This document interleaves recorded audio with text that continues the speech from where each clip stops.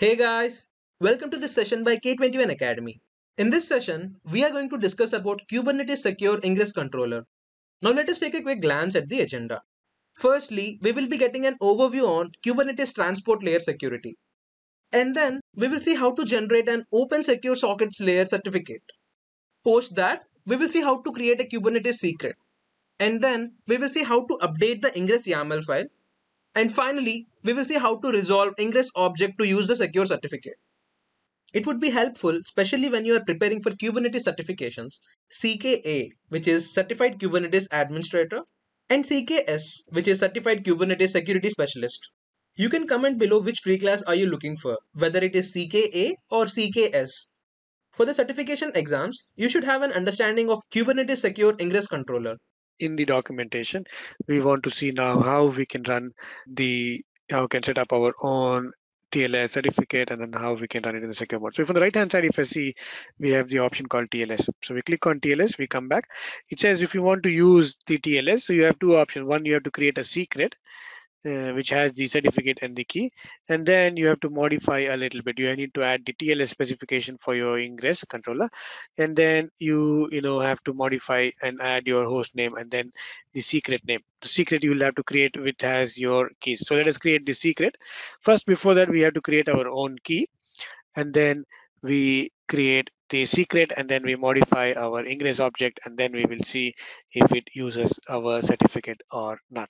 So let me go back to my terminal. So what we do is we use the OpenSSL command to generate our certificate, right? What we can do is I'll paste it in the chat if you need it. I think it's part of our lab guide as well. So we use the OpenSSL and then we create the CSR and then we do the X509 and we try to create it, create the certificate, right?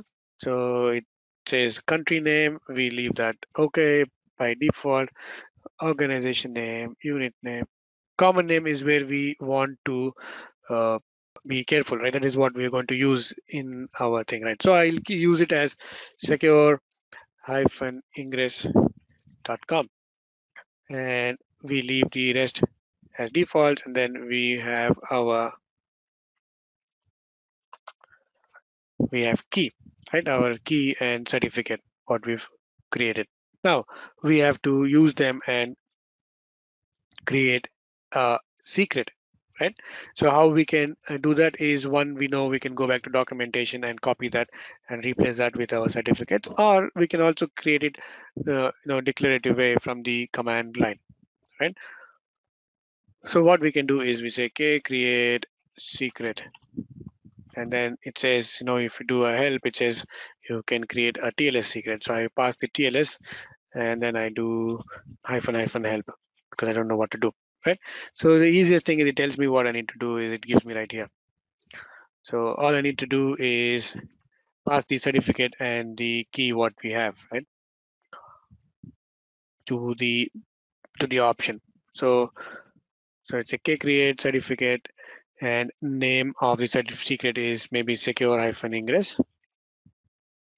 And the certificate is my cert.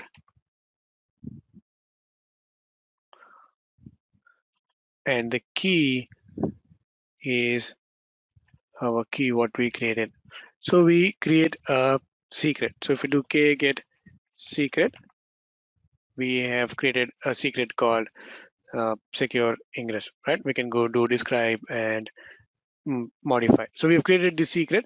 Now, if I go back to documentation, if what I need to do is uh, I need to modify and add the TLS options and the secret name, right? So we will copy these and then what we will do is we modify and create that. So I already have it copied in the YAML file for me. Let me just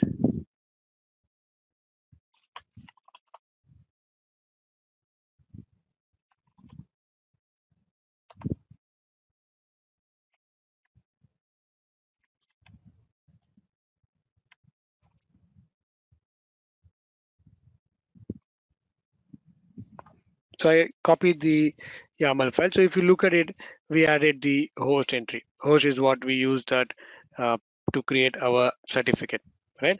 And then we added the in the in the TLS in the specs we added a new thing called TLS, and that we name gave the name of our host and the secret name, the secure hyphen ingress what we created. Right? Let me save and come out and then do kubectl apply dash f. And then we have created this right? Now let us do access to that. So now if i do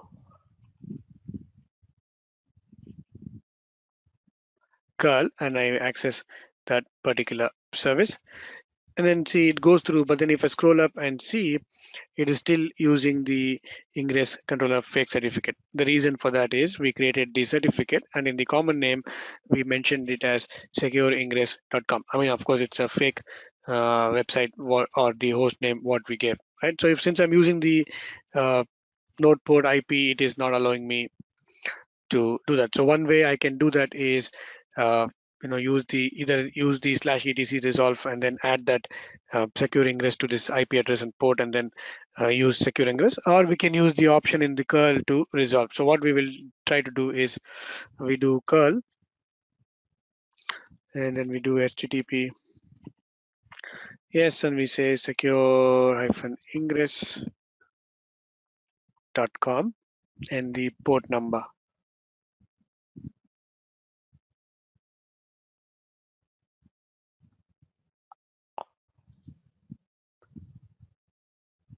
right and then the service. One we want to see and then we use the option resolve. Uh, we want to resolve secure hyphen ingress dot com at port 32297 to IP address 192.168.100.11 and now if you look at it right? So what we did was we wanted the certificate what we created was for the secureingress.com right? And then we were trying to access it using the node port ip address and it was still using the the default fake certificate what it had. So the we created a certificate and then we created a secret which contains the details the tls of our the of our key and then our certificate and then we modified our ingress object and we said hey this is what you have to use. This is the secret reference. In that secret we had our key and our certificate value. And we tried to resolve or access using the node port. We were still able to get the older we were still going to the, the, the default fake certificate what we had. We tried to uh, resolve using the curl option. Either we could have i mean because that secureingress.com is our fake website what we created like fake domain for our testing purposes, right? So I use the option called uh, resolve, and then we said resolve secureingress.com to on the port 327 to this particular IP address, right? And that's how we were able to run it. And then if we scroll up and we do the verbose mode, and we scroll up and we see it is using the certificate what we had created. So if you see the common name is secure-ingress.com, right? So let me go back to the slide so what we saw in the hands-on is we created, we installed the NGINX controller. We, we learned how to do that from the documentation itself so that uh, in the exam we have access to documentation. If we need to set this up, we can do it real quick. And then we created uh, service one and service two. We created two pods and one running NGINX, one running HTTPD. We exposed them and created service one and service two. And then we saw the default service which gets created when we deploy the NGINX controller already comes with uh, your HTTPS you can access on the port 443 which is exposed as a node port. And then we tried to access that. We were able to accept uh, access it after accepting the self-signed certificate right?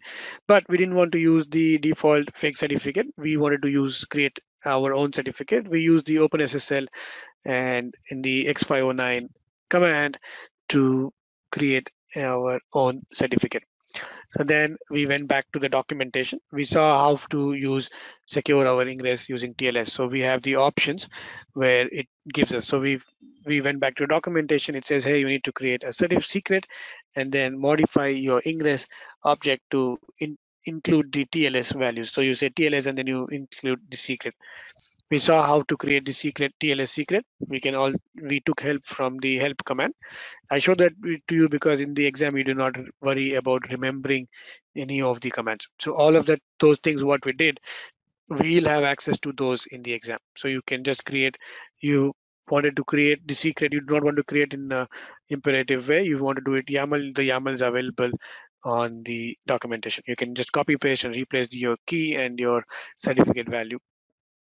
We created using the command line and then we create modified our ingress object added reference to that particular secret and the host name what we had used to create that secret right and then we were able to access and resolve that uh, particular domain what we had used and then we saw that the communication was secure and it was using our certificate. That's what we try to do here with the HTTPS. Right. So that brings us to the end of the section where how you secure your ingress. So here, if you see on the left hand side, you have whatever manifest I did. I, I took everything from the documentation, right? Just to show you that how you can take it in the exam and, and do it so easily. So we also have taken it from there and then we've modified to custom the names. So if you see the the paths and then you've given the host name and what host name you've created the the, the certificate with. And then here it shows you the the certificate details and then you we can be sure that you know it is using your certificate what you created. That was our expert in Kubernetes. Now, if you want to learn more and get certified, then sign up for the free class of Kubernetes certification of your choice. For certified Kubernetes administrator free class, please visit k21academy.com slash kubernetes02. For certified Kubernetes security specialist free class, please visit k21academy.com slash kubernetes sec02.